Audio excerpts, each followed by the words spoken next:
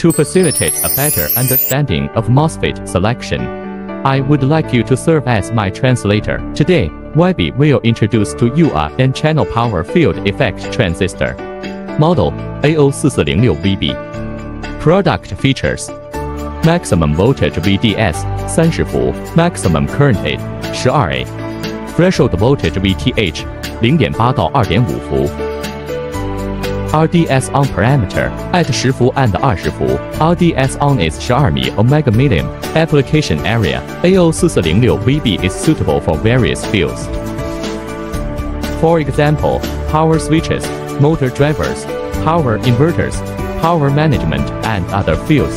In short, the AO4406VB can be used as a power switch to help achieve efficient power conversion and power management. It can act as a switch in the circuit to control the on-off of the current, thus regulating the power output.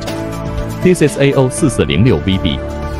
Okay, that's all for today's VB product introduction. If you like it, you can follow it a little bit. Any questions or questions that need to be answered, welcome to leave a message in the comment section.